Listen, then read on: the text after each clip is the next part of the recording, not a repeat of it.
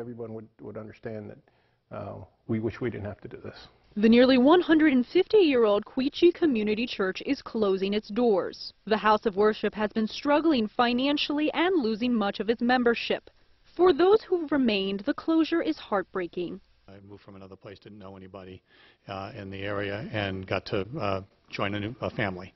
Members say they will now sell the building and much of what's inside, including these murals that show actual church members depicted in biblical scenes. Collins says he hopes the paintings will somehow be saved. They mean a lot to me because my grandparents, my grandmother and my grandfather church are in these murals, and my mother's in these murals.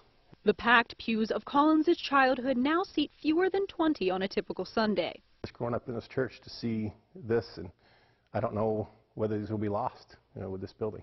He says the final sermons will celebrate the strength of service. The church is a building, and as a building, the members of the congregation can go anywhere to serve God.